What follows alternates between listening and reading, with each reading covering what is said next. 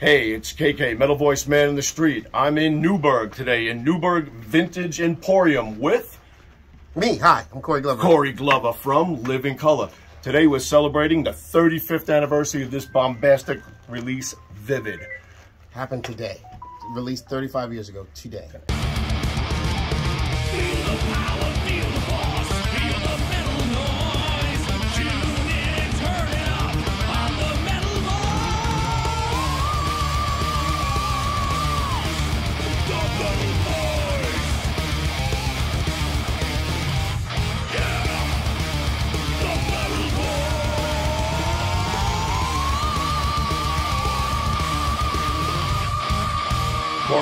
What did this album mean to you when it came out? Well- I mean, it had to knock you off.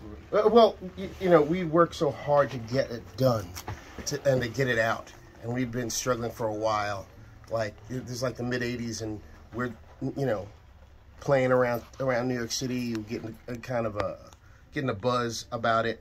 And we spent most of our time playing around town and getting a sort of name for ourselves. And then we would, uh, and then we'd we go we ride this rehearsal space in uh, Bushwick, right above literally the L train, Oh, wow. um, the L, the M, and the F train. Um, that ending of Open Letter to a Landlord, the train going by is that. Train. Is that the L? Yeah, Okay. is that train? I used to take that train into the city all the time. Yeah, it's train going into the junction. Yep. Yeah, it was that we took. We were like one. It was like one day we were doing. We were re- rehearsing the song, and at the song end, the train started. And we're like, wow, that's great. That sounds really good. We should do that. But so we were we rehearse and write and write and rehearse all that time, like two three days a week. Then go play somewhere that weekend, and then come back on a Tuesday or Wednesday and start rehearsing again and start writing again. And you know, like um, song that everybody knows, Cult Personality. Is that your first one you? No, it was not. Funny Vibe was around. Even before I got in the band, Funny Vibe was around. Um, I Want to Know was written before we, before me, Will, and Muzzy got in the band. Um, but we would we wrote stuff like Cult, Middleman. Love Middleman. Um, what else did we we wrote? Open to a Landlord, Which Way to America, What's Your Favorite Color? All that stuff we did in rehearsal, and we would, uh, you know, Coach Personality. We came in one day, and the song was written in a session, in a like five hour session, in that rehearsal studio in Bushwick. so we uh, we came up with it. We came up with the groove. Vernon had these lyrics you know, I'm reading these lyrics, and as I'm reading lyrics, it's like, yeah, it just goes like that, goes like this, goes like that. So, um, and we went in with an idea and came out with a song, and who, we had no idea how impactful that song would be, but we did what we could. and that was the first single, correct? No, actually, the first single was Middleman. Middleman. Middleman was that why I know Middleman a yeah, Middleman was actually the first single, and we did a video for that, and we kept saying, you know, Cult is really the one that's gonna do it, and uh, we put out Middleman, then we put out Cult, and Cult did really well, and then we did Open Letter to a Landlord, and then we did Glamour Boys. So those are the four singles from that record, um, and you know, just the the ability to go out and play it. And people all we wanted to do is people to hear it.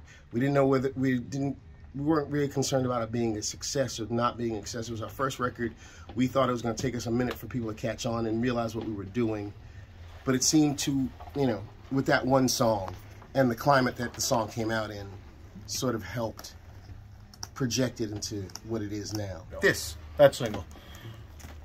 you know and you know open Letter to a landlord is, is a b-side on this too That's which- the B-side? that's the b-side yeah Wild.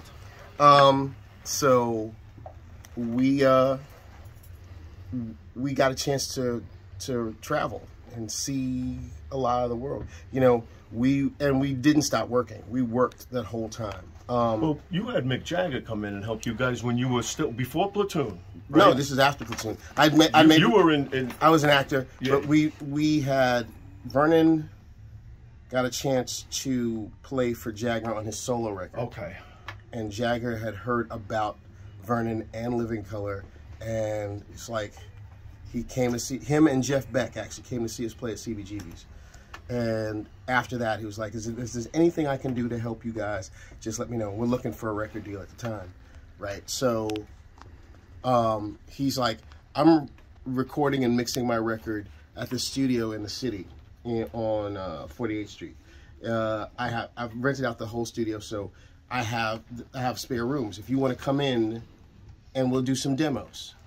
Um, you know, we'll we'll work on some stuff and see if that how that if that works out. So we went in and we did uh, Which Way to America, and we did something else. I can't remember. Oh, Glamour Boys, which we thought was sort of commercial in, in its own right. So he did he produced and recorded those two songs as a demo to send out to record companies. And we got some got some interest and people coming around and saying stuff, you know, the whole stick like we can make this happen, we can make this you into the biggest stars in the world, blah blah blah blah. And then we went to Epic and Epic was like, what we want to do is get what will make this work. What a record like this is will work is if they see you. If they see you play this stuff, we can listen to it all day and it sounds great and sonically that's good. But we want to make a record that sounds like you playing live. So we we got Ed Stasium, That's it. You got the Ramones guy. Nice. Right. Very good job. uh, you know, and that you know because of his, you know, he like he- did the whole raw thing. He did it. He made it extremely raw, and him and his his engineer Paul Hamilton, aces, the best people in the world. Um, we sat there and you know, he did a little arranging, but Ed did some arranging. Like he changed the way Cult Personality when we did it originally.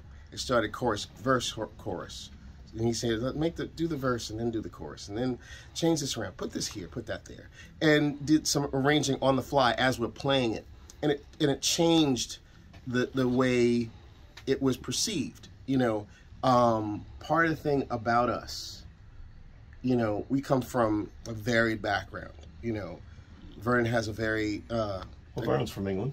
well. He's he's from England. He was born in England, but he lived in in, in Brooklyn. He was in Brooklyn also. most- all most four of- you guys Brooklyn? No, um, uh, me and Vernon are from Brooklyn.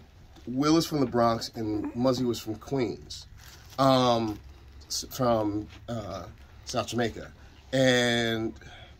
I'm not South Jamaica, someplace else, but uh, whatever. Because he'll tell me, he'll call me if he's, he's and say, "I didn't live in South Jamaica." Um, but he, he I lived in Rosedale. Yeah, yeah. it's, I'm he's he lived off of Farmers Boulevard. That's all I knew. Okay. You know, Jamaica. Everybody lived off of Farmers Boulevard. You know, um, so uh, so we all had a real eclectic background. You know, Will ha- has got a degree from Berklee School of Music and Engineering. Muzzy had a degree from uh, uh, New York, uh, from NYCC. Um, you know, brilliant sort of eclectic kind of things. As I said, Vernon had this real sort of jazz thing, and I would run from, you know, uh, you know, R&B and soul music to hardcore and, and everything in between, plus gospel and, and spiritual music and all of this stuff. And that sort of combination of the two, sort of, of the four, I should say, really made things work. So we were all over the place when it came to things. And like, we knew that it needed what we had, what we had in our pocket is we have a jazz and a funk kind of aesthetic.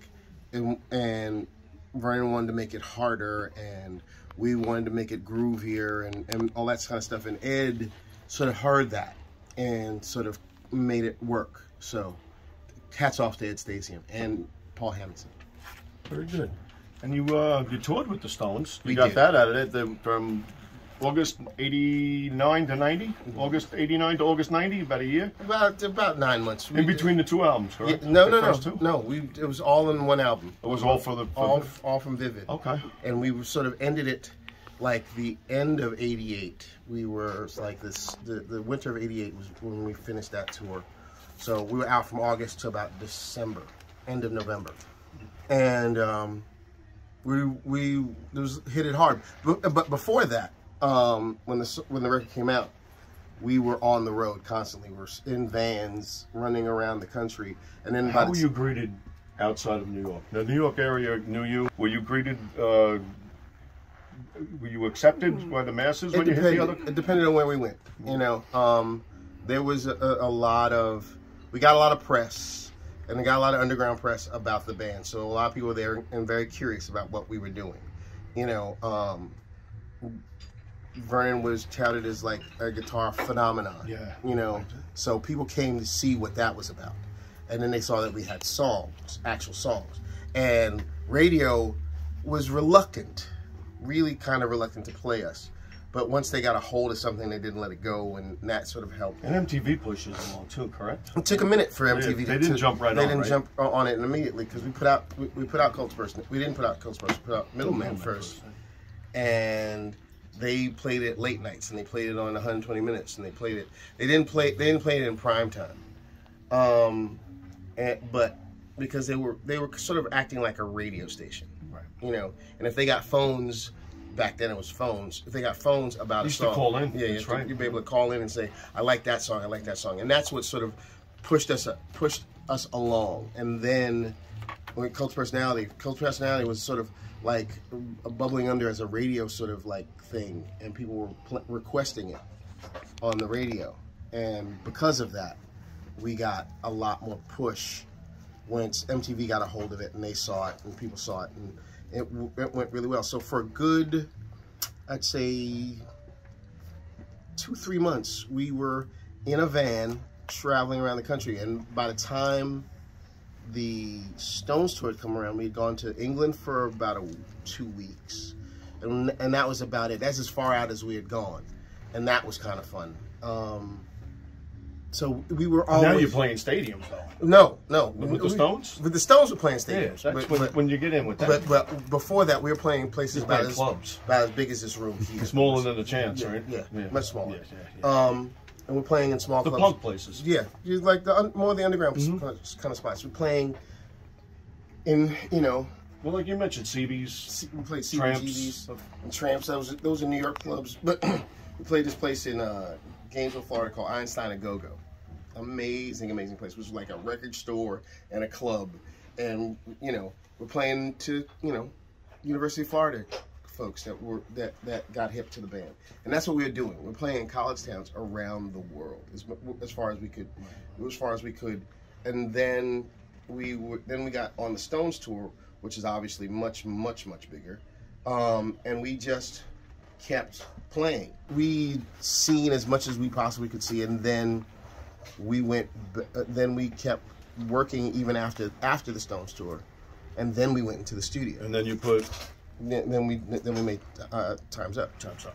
And Times Up was, again, us being in rehearsal constantly and writing, and then taking it out and playing it somewhere around town. Or we would find bits and pieces of things that we had ideas about and we worked them out on stage. So Times Up was sort of, we worked it out in rehearsal. Whereas something like, uh, let me see the record. I can tell you exactly what it was. We we worked out outside of. Ooh yes, we were so young, so young. yeah, so young. I can't read this. Um, yeah, thank you. Oh, that's much better. You know, Love Is Ugly Head. We worked out at, at out on like we played it and then we then we refined it after we after we put it after we worked it out. Um, but you know, a bunch of this stuff was just us sort of working it all out. And in the meantime, Type was another one like that. Um, we wanted to, you know, we were trying, you know, the the the idea of cult personality had blown up and everything else, and, and you know, the expectation was, to a large degree, why don't you make another cult personality? And we didn't want to do that. We wanted to make something different. We wanted to constantly be evolving and not just stuck in one spot. But you know, so we put out Type as the first single, which did really really well because it, off the heels of you know this band is doing something interesting and they, were out there and and and immediately we didn't rest on our laurels. We went back out on the road. Right, right. We never stopped. Again, with all of our records, we want to play them live. We want to be able to play them out there for people to get a to get immediate feedback. You know, whether they like it or they think it sucks. Either way, we want to figure it out, and we still do that. When we make a record, we want to play it for people to hear what they have to think, hear what they think about it, and find out what they really want from it. Ooh, Sonny and Cher's greatest hits. Now, um, were you affected with grunge at that time? Because that's about '90. It's starting to come in. Is that Right, right, right. have an effect on Living Colour? not the other not hand at all, metal? no. Hand- not- you're not hand metal, actually. No, we were. I never thought you were. I have a lot of hair, but it wasn't, yeah, it wasn't, no, it no. wasn't a hairband. You know, you know um, what I'm saying? Did yeah. grunge have an effect on No, um, we we had an idea. You know, there is a there was a, enough to to to mine with the ideas that we had, and and and you know what we were playing was as much as what we were saying. So we wanted to make sure that, that what we were saying had had the chance to be heard and understood. So when you're doing something like type, or you're doing something like Love Rears Ugly Head, or anything like that, it would Love Rears Ugly Head was another song we worked out on stage as well as in rehearsal. We wanted to make sure that you heard it and and and, and know that there that there was a there was much more to us than just that one song. That there was much more to us something we had much more to say than you know this sort of social kind of idea of what the world is. We wanted to show you what the, what, we thought of the world, and that was what our what our main goal was at the time. No.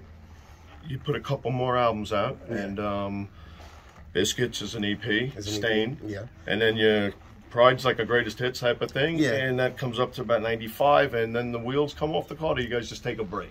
We needed to take a break. We were You we took were a break. we were burnt, we were really really burnt. Like like I said, we didn't stop working. Like we we went out all most of 1988. We we stopped at the at the end of 88 and then started working on a new record and then immediately going out on the road and then immediately sort of things we we were We're in working that cycle. yeah, we're getting in this really sort of tiring cycle. Like you get on the bus, you get off the bus, you do the gig, you get on the bus, you go to the next town, you get off the bus, you go to the gig. And it started to become very, very repetitive and and we were worried about burnout. Really, really worried about burnout.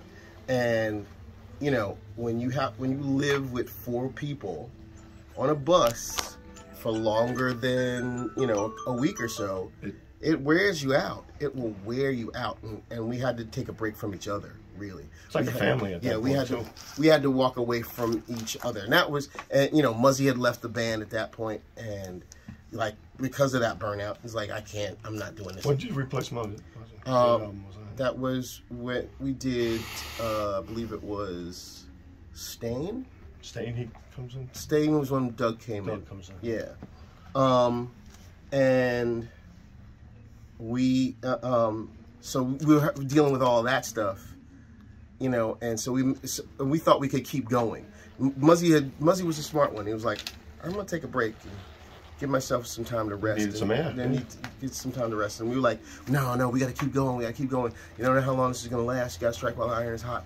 And we did keep going. We got Muzzy, we got Doug in the band, and we just kept pushing along. And the burnout just didn't relent. You know, it wasn't a. It, it did a lot. It did a lot to our our, our home lives. It did a lot to our uh, our social lives, and, and you know, I hadn't seen my parents. You know, my my father died in the middle of us being on the on road, uh, while on tour. Actually, literally, like we were, we were, um, we were home. I, I was home for a couple of days. I left, and when I came back, he was gone. You know, so yeah. So I had to, you know, that, and, and didn't have really have time to grieve. You know, didn't have time to to, you know, uh, for to be there for my mother. You know what I mean? So that was part of the part of what I, I needed.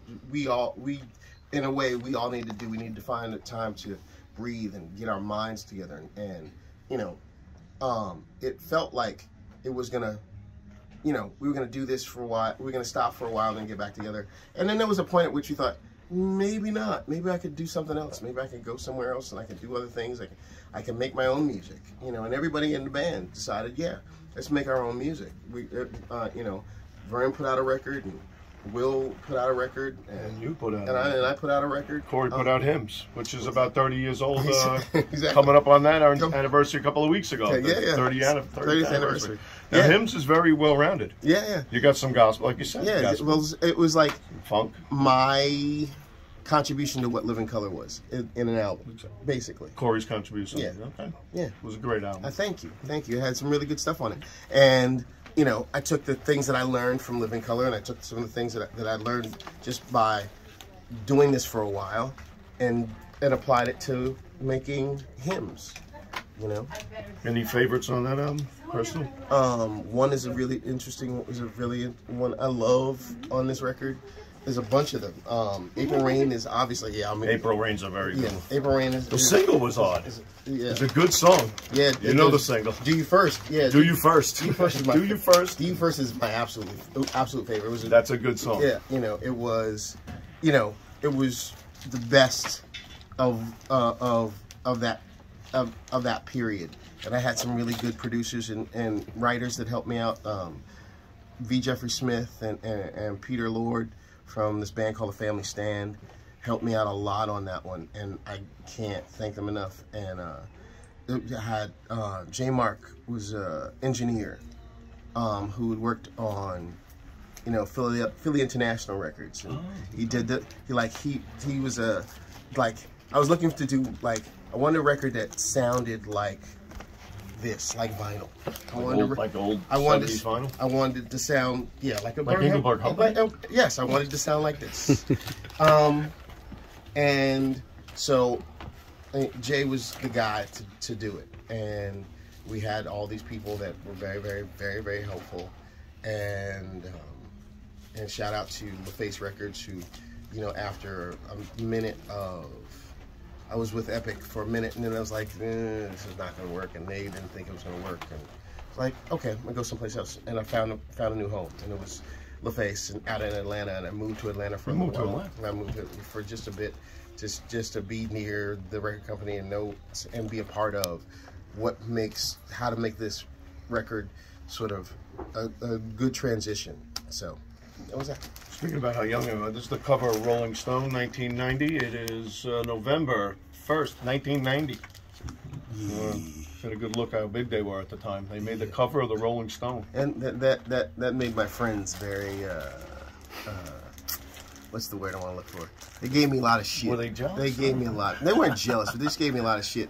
Your real friends are your real friends. Yeah. You know that. you know, I, I tell a story all the time. I was in the they had a, we had a break in during the Stones tour, and I came home, and I'm still living at home with my with my mother, and she was like, "Okay, that's great. You're off the road. Good. You have nothing to do. Here's a paint. Here's a brush. Paint the house. Here's the stoop. Paint the stoop." So I had my friends drive by while I'm painting the stoop, giving me lots of grief. Like the rock star is painting stoop. You know, it's like, no, my mother says, I you talk to her and tell her I tell her rock stars don't do that. She'll throw you out of the house. So um so I so I I did get a little little grief for that. But, you know, my friends knew this is what I wanted to do. And the fact that I got a chance to do exactly what I said I was going to do was they they they they gave me props for that. You know? That's good. That's Yeah. what friends are for. Exactly. Now, you guys moved along. You put out uh, Kaleidoscope, Right. right? Uh, that was like 2003, 8? Yeah. 2003. Is the band still in function all the time, constantly? You just taking breaks? Or We you never actually formally break up, correct? Well, we we did formally do. break up. We and, and what was that? Like ninety something. Um, like 96, 97 we broke up. So then that, that would be the return album, uh, Yeah, yeah. Kaleidoscope. Kaleidoscope was was sort of like us That's a tough back. one to find, by the way. Yeah, yeah. It really is. It is. Um, and we went, we went back to the well. It was like, we're gonna, we're gonna talk about the things that we that we know about. You know, 9/11 had happened, and we want to talk. We really want to talk about that.